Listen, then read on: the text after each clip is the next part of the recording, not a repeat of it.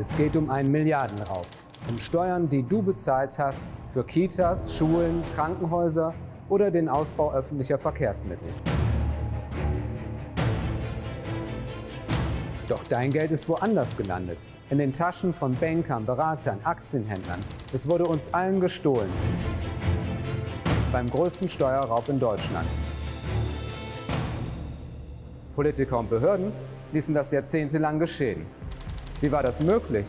Warum hat der Staat dein Steuergeld nicht geschützt? Und sind die Milliarden nun für immer verloren? Mein Name ist Massimo Bognani. Ich arbeite für WDR Investigativ und beschäftige mich mit Wirtschaftskriminalität. Seit Jahren recherchiere ich gemeinsam mit den Kollegen der Süddeutschen Zeitung zum wohl größten Steuerraub Deutschlands, den man Cum-Ex nennt.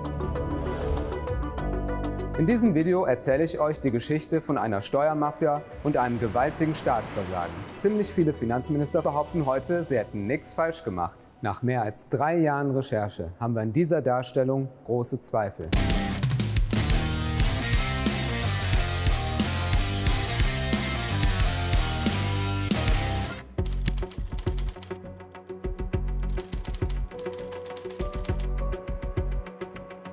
Der Skandal beginnt schon vor mehr als 30 Jahren. Dieser Mann hier ist damals Aufseher an der Frankfurter Börse. Er heißt August Schäfer. Ja, jetzt gehe ich erstmal auf meinen Beobachtungsposten, um zu sehen, wie der Börsenhandel abläuft. Schon in den 90er Jahren stößt er auf dubiose Geschäfte. Er will dem nachgehen. Sein Chef, der damalige hessische SPD-Wirtschaftsminister Ernst Weltecke, unterstützt ihn obwohl der offenbar ahnt, dass es nicht immer karriereförderlich ist, sich mit der mächtigen Finanzbranche anzulegen. Ich weiß noch genau, wie er mir gesagt hat, wenn das in die Hose geht, Herr Schäfer, Sie machen die Poststelle und ich mache Entwicklungshilfe in Afrika. Tatsächlich entlarvt Schäfer 19 fragwürdige Geschäfte, darunter auch Cum-Ex. Damals laufen die Deals noch unter dem Schlagwort Dividendenstripping. Schäfers Fund schlägt hohe Wellen. Der Weltker als Minister hat seine Ministerkollegin angeschrieben und hat Druck gemacht und hat hiervon auch den Ministerpräsidenten unterrichtet. Und das war damals Hans Eichel. Eichel wird Journalisten später erzählen, Schäfers Bericht sage ihm nichts. Die Hessen spielen das Thema bis in die damalige Bundeshauptstadt Bonn. Finanzminister Theo Weigel, CSU, wird im Finanzausschuss über Schäfers Erkenntnisse unterrichtet. Doch es geschieht zunächst nichts. Schäfer glaubt zu wissen, warum. Auch Bonn damals noch war interessiert an der Förderung des Finanzplatzes Frankfurt. Und insofern passte das natürlich nicht ins Bild, wenn hier irgendwelche Skandale groß hochkommen. Theo Weigel sagt, er erinnere sich nicht mehr an den ganzen Vorgang. August Schäfer jedenfalls bekommt später das Schreiben eines Bankenlobbyisten in die Hände.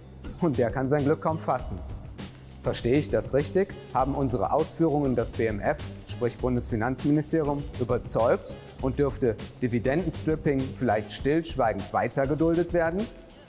Zwar werden später auch noch unter Theo Weigel strengere Gesetze erlassen. Nur, ob die eingehalten werden, kontrolliert offenbar niemand. Die Branche kann feiern. Und verfeinert über die Jahre das Cum-Ex-Modell. Bei Cum-Ex haben sich Banken und Finanzinvestoren beim Finanzamt Steuern erstatten lassen, die sie nie bezahlt haben. Und weil sie diese Masche millionenfach umgesetzt haben, sind Milliardensummen aus der Staatskasse an Banker und Aktienhändler geflossen. Und das wurde in einem komplizierten, verschachtelten System millionenfach gemacht. Fast alle großen Banken waren daran beteiligt.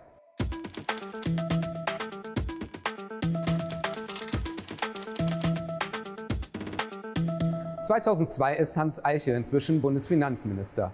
Gut könnte man meinen, dass mit ihm jetzt ein Politiker am Amt ist, der die krummen Geschäfte schon aus Hessen kennen müsste und sie zumindest Jahre später für einen Riesenskandal hält. Es ist schlichter Diebstahl. Der Staat kann das nicht hinnehmen, weil es auf die Dauer das Vertrauen zum Staate untergräbt. Umso erstaunlicher ist, was dann unter Eichels Führung damals passiert.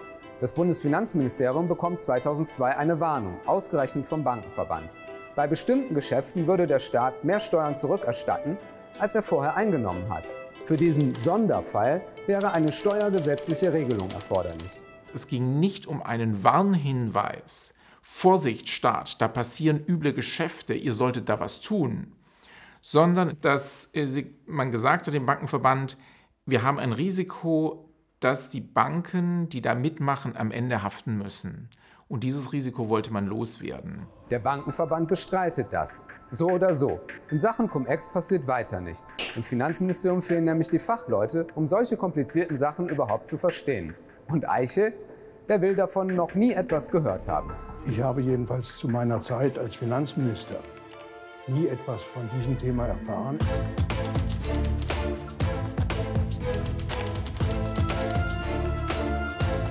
2007. Inzwischen ist Per Steinbrück Finanzminister. Seine Beamten wollen Cum-Ex stoppen. Inzwischen hat das Ministerium auch einen neuen Mitarbeiter. Einen ehemaligen Finanzrichter. Und der ist topfit in Sachen Steuerrecht.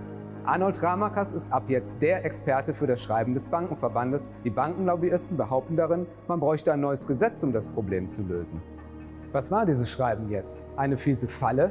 Die Banken regten ja an, etwas gesetzlich zu regeln, was ohnehin schon verboten ist. Denn eigentlich war ja glasklar, wer eine Steuer nicht bezahlt hat, darf sie sich auch nicht erstatten lassen. Eigentlich bräuchte es kein Gesetz, sondern knallharte Ermittlungen gegen Cum-Ex-Akteure. Doch das Ministerium folgt dem Vorschlag der Banken. Es soll ein neues Gesetz geben. Und während die Beamten vertraulich über das Gesetz beraten, ist die Branche offenbar stets bestens über jeden Schritt hier informiert. In E-Mails der Kanzlei von Hanno Berger, einem der wichtigsten Cum-Ex-Akteure, heißt es etwa, Zuverlässige Quellen hätten bestätigt, der Gesetzesentwurf sei bis auf weiteres verschoben. Und wir haben damit Zeit gewonnen, um die endgültige Fassung des Gesetzes in unserem Sinne zu beeinflussen. Berger sagt heute, als einzelner Anwalt habe er die Gesetzgebung nicht beeinflussen können. Er hält Cum-Ex übrigens bis heute für legal. Finanzrichter Arnold Ramakas arbeitet jetzt fleißig an dem Gesetzesentwurf und ihm liegt bereits ein konkreter Vorschlag vor. Den hatte der Bankenverband nämlich praktischerweise mitgeschickt. Der Haken, damit würden Cum-Ex-Geschäfte nur im Inland unterbunden. Über ausländische Banken wären sie weiterhin möglich. Eine gefährliche Lücke, argumentieren einige Beamte. Aber Ramakas zerstreut die Bedenken. Er wird später sagen, er sei der Sicht der Banken gefolgt, weil er die Konsequenzen der Lücke unterschätzt habe. Ein milliardenschwerer Fehler. Ramakas kopiert den Vorschlag des Bankenverbandes eins zu eins in die Gesetzesbegründung, samt Lücke für Cum-Ex-Geschäfte übers Ausland. Und was macht die Branche jetzt? Die sagt sich, na wenn die Geschäfte übers Ausland doch nicht ausdrücklich verboten sind, sind sie ja wohl erlaubt. Zur Erinnerung, es war nie erlaubt, sich Steuern erstatten zu lassen, die niemand bezahlt hat. Auch nicht übers Ausland. Doch die Cum-Ex-Akteure interpretieren das Gesetz als eine Art Freifahrtschein. Denn hunderte von Steueranwälten, renommierte Kanzleien auf der ganzen Welt, schreiben damals Gutachten für Banken und Aktienhändler. Das Geschäft sei legal und der Cum-Ex-Boom, der geht jetzt erst so richtig los. Das neue Gesetz ist gerade fünf Monate in Kraft. Da warnt ein Whistleblower das Ministerium. Das neue Gesetz werde über das Ausland massiv umgangen.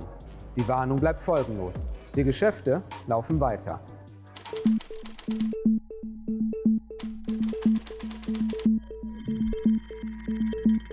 Zwei Jahre später warnt wieder ein Whistleblower. Ausländische Banken nehmen den Fiskus systematisch aus. Es könne ein potenzieller Schaden von bis zu 12 Milliarden Euro entstehen.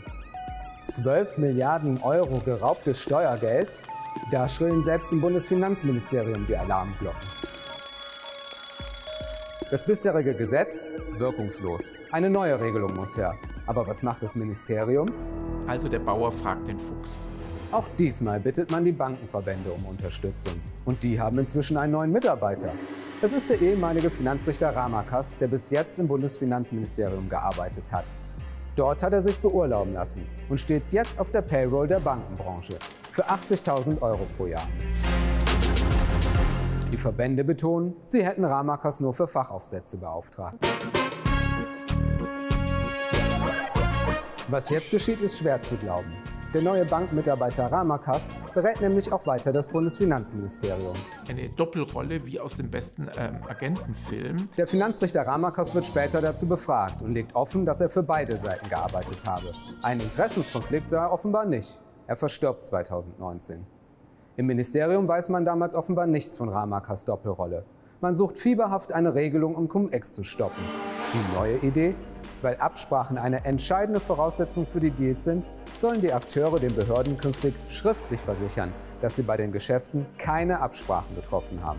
Ja, das ist natürlich sehr naiv zu glauben, dass diejenigen, die sich da an einem Raubzug beteiligen, dann äh, zum Staat gehen und sagen, ja, wir haben uns darüber abgesprochen und äh, tut uns leid, sorry. Und was glaubt ihr passiert jetzt? Richtig, die Geschäfte laufen munter weiter. Finanzminister Per Steinbrück sagt, er habe von all dem erst in den letzten Wochen seiner Amtszeit erfahren. Ihr denkt an dieser Stelle vielleicht, puh, das ist ganz schön viel und kompliziert, was da alles schiefgelaufen ist. Wann nimmt es ein Ende? Ich habe mich das während der Recherche auch gefragt. Und es ist leider so, dass es noch weiterging mit den ganzen Pannen in der Politik.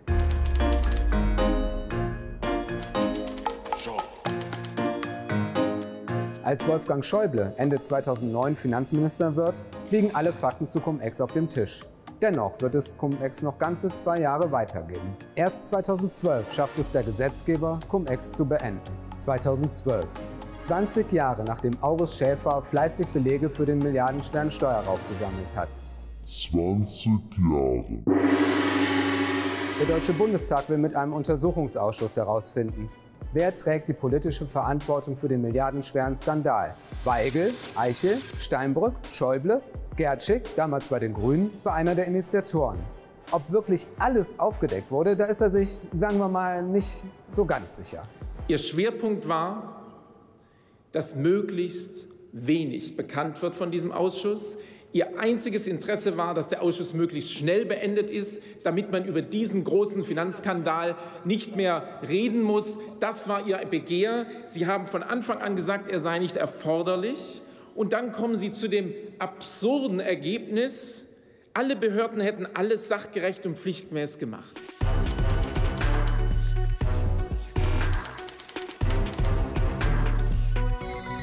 Seit 2018 ist Olaf Scholz Bundesfinanzminister. In Sachen Cum-Ex zeigt er eine klare Kante. Cum-Ex war eine Riesenschweinerei. Mir ist völlig schleierhaft, wie man das für legal oder auch nur irgendwie für legitim halten konnte. Und auf Twitter schreibt er, solche Machenschaften machen wütend. In Deutschland haben wir seit einiger Zeit gesetzliche Vorkehrungen getroffen, die solche Tricksereien unterbinden sollen. Ich habe das Bundesfinanzministerium deshalb angewiesen, jeglichen Hinweisen auf solche Geschäfte nachzugehen. Jeglichen Hinweisen nachgehen? Im Winter 2018 decken wir zusammen mit der Süddeutschen Zeitung auf, dass es wohl auch nach 2012 weiterging mit dem Steuerraub.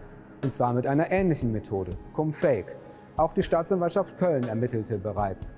Wie Recherchen des WDR und der Süddeutschen Zeitung bestätigen, geht die Staatsanwaltschaft nun einer neuen Masche nach, mit der offenbar auch deutsche Banker und Aktienhändler Millionen an Steuergeldern ergaunerten. Die Nachricht wird bundesweit aufgegriffen.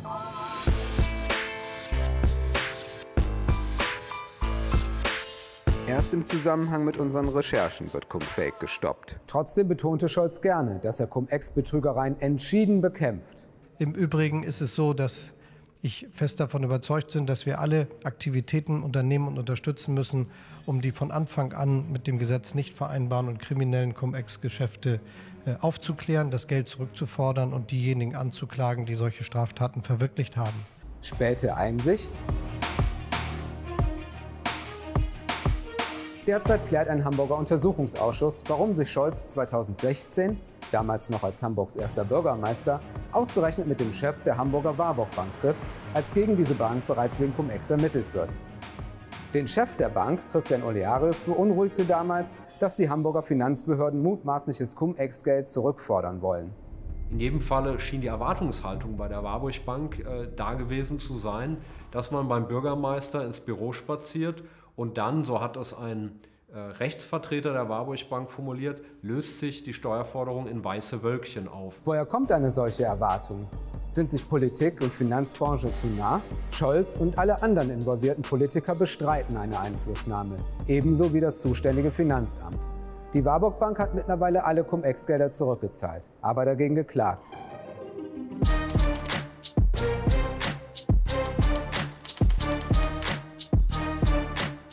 Dass die Cum-Ex-Akteure nicht davonkommen. Und unser Steuergeld nicht für immer verloren ist, ist keineswegs der Verdienst der Politik oder der Finanzbehörden, sondern der einer Kölner Staatsanwältin und ihres Teams. Denn inzwischen hat sich Anne Brohrhilker an die Fersen der Cum-Ex-Mafia geheftet.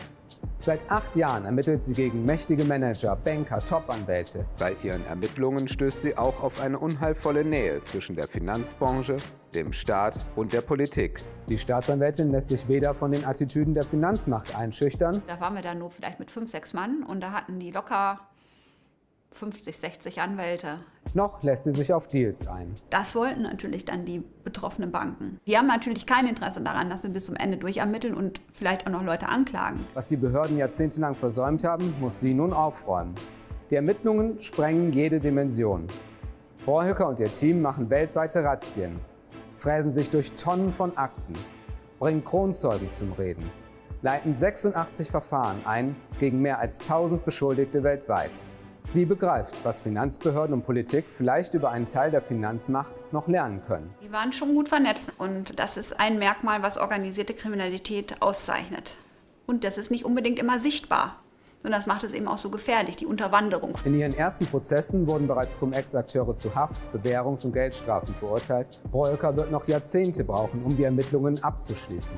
Wie also stellen Finanzminister künftig sicher, dass ihre Mitarbeiter die Gesetze schreiben und nicht die Branche selbst? Und wie verhindert man, dass weltweit vernetzte, bestens organisierte Finanzjongleure nicht immer neue Modelle auflegen und dabei eine Nasenlänge voraus sind? Wenn man den Sumpf austrocknen will, darf man nicht die Frösche fragen. Fest steht, die Politik muss Antworten liefern. Denn eine Finanzbranche außer Kontrolle bedroht das Fundament des Staates, das Vertrauen seiner Bürger. Es geht um viel. Was sagt ihr zu dieser ganzen Geschichte? Schreibt uns hier in die Kommentare, was ihr dazu denkt. Und wenn ihr mehr zu den Ermittlungen in Cum-Ex-Fällen wissen wollt, schaut euch hier unsere Doku dazu an. Und eine weitere Doku würde ich euch empfehlen, über die Berater der Reichen und Mächtigen. Dort zeigen wir ebenfalls Einflussnahmen auf, diesmal von der Beraterbranche.